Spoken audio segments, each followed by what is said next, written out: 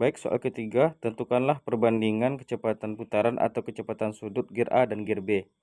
Jadi ditanyanya di sini perbandingan, perbandingan kecepatan putaran. Bahasa lainnya itu adalah kecepatan sudut gear A dan gear B.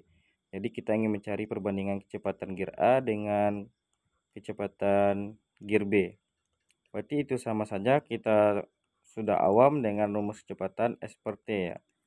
Jadi kita ingin mencari kecepatan A maka SA per TA waktu ini dibutuhkan oleh A.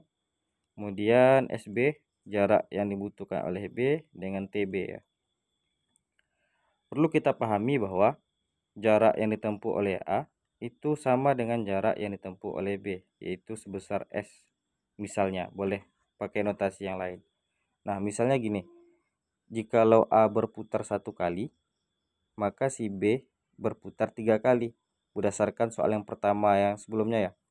Jadi kita dari soal pertama kita dapatkan PA itu sama dengan tiga kali PB ini definisinya bahwa satu kali putaran A satu kali putaran A ini adalah tiga kali putaran B.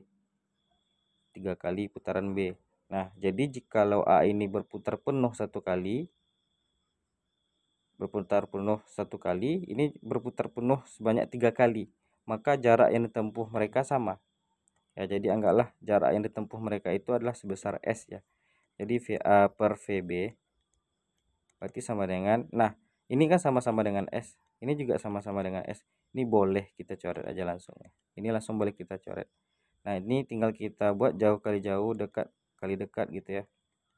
Ini sudah tinggal satu di sini juga tinggal satu berarti itu TB per ya ini TB per TA nah jadi kita harus mencari perbandingan TB dengan TA jadi jikalau andaikan ini berputar satu detik misalnya maka ini berputar tiga detik ya.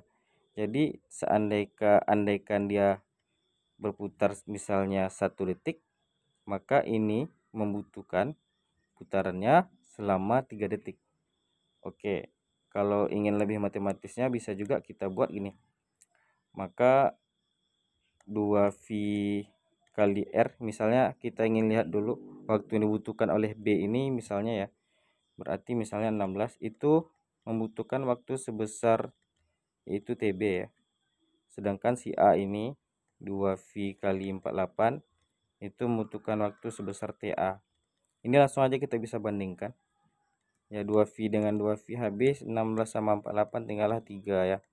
Berarti 1 per 3 sama dengan TB per TA berarti eh, TA itu itu sama dengan 3 kali TB nah tinggal kita substitusikan saja ke sini. Berarti VA banding VB itu sama dengan TB nya itu nanti aja yang kita pakai TA nya saja. Berarti TB per TA itu adalah 3 kali TB Nah, TB sama TB habis, tinggallah 1 banding 3. 1 banding 3 ada di option yang C.